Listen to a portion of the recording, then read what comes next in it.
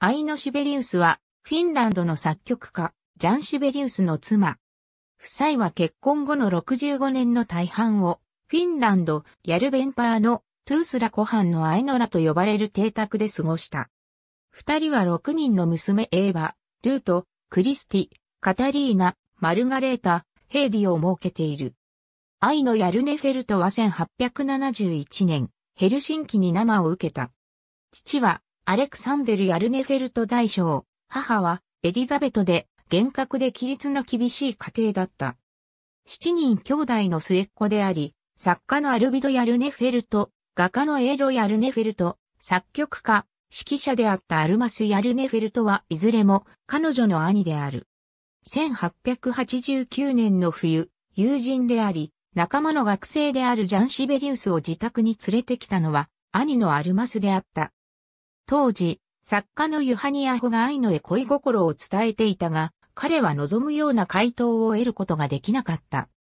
その後数年のうちに、愛のはシュベリウスと婚約し、二人は彼女の父の祝福のもと、1892年6月10日にマクスモで結婚した。愛のシュベリウス、1922年。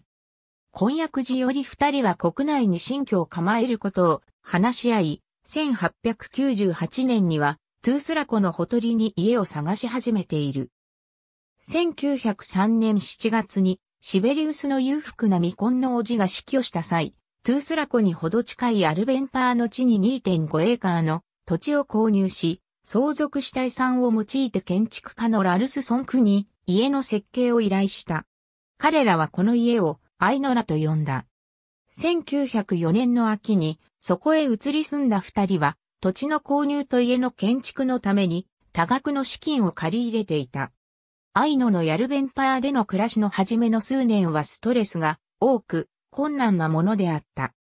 理由の一部は経済的な不安にあり、また一部は飲んで騒ぐ夫の生活スタイルにあった。彼女は家の周囲の石だらけの土地を菜園にして家計の足しにしようとした。また、彼らには子供の学費が工面できなかったため、愛のが家庭で指導を行った。後に子供たちが学校に通うようになった際に優秀な成績を収めたことから、彼女は非常にうまく教えたと言える。1907年の一時期は療養のためヒュビンカーのサナトリウムで過ごした。1908年にシベリウスが喉の手術を受け、ほぼ7年間にわたってアルコールを断つことになるが、これが愛のの最も幸福な時期の始まりとなる。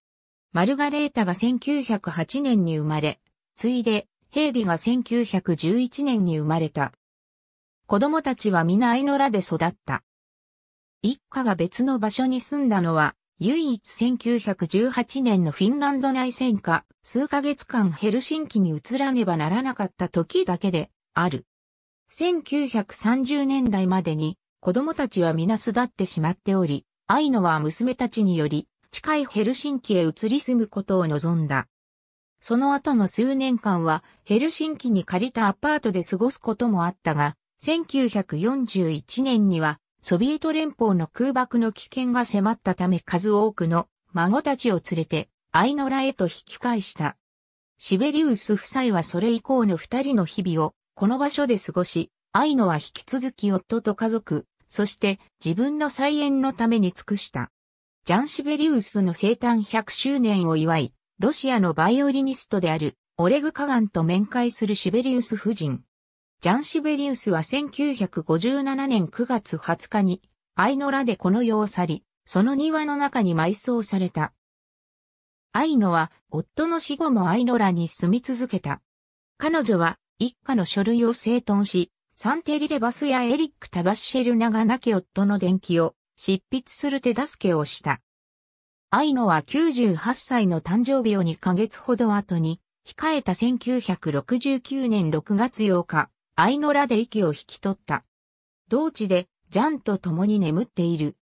1972年、娘のエーバ、ルート、カタリーナ、マルガレータ、ヘイディがアイノラをフィンランド政府に売却。建物は1974年に博物館として公開された。